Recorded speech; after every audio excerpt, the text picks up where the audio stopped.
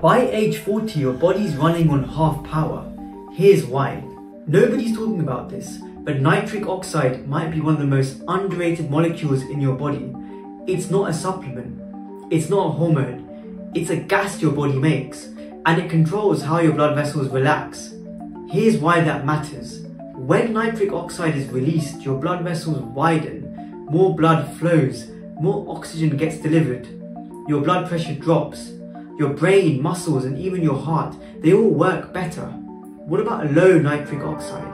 That means stiff arteries, poor circulation, brain fog, low energy, and higher blood pressure. And here's the wild part. Nitric oxide production drops as you age. By 40, you are making half as much as you did at 20. But you can boost it naturally by eating more leafy greens, beets, and garlic. Move your body, breathe through your nose. Even sunlight on your skin helps. So, boost nitric oxide and you boost your health from the inside out.